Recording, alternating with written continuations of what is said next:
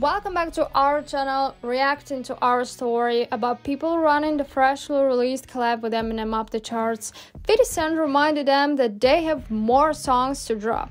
Retweeting the article, Fiddy nudged Marshall. We still got few more in the vault.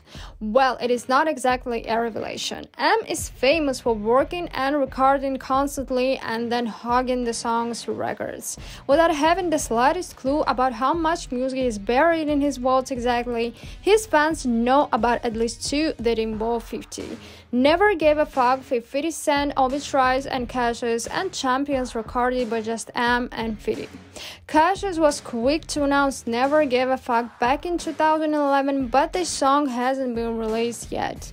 A little more is known about Champions. Snap Josh called it one of the best unreleased songs in existence.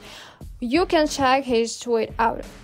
Whatever it was, the fans would give a lot to hear the record. Eminem and 50 have such electrifying chemistry that every joint of theirs becomes a gem. It was proved again when Is This Love came out on Em's Hits compilation. Listen to Curtain Call 2 once again stay safe and don't forget to like this video and subscribe to our channel.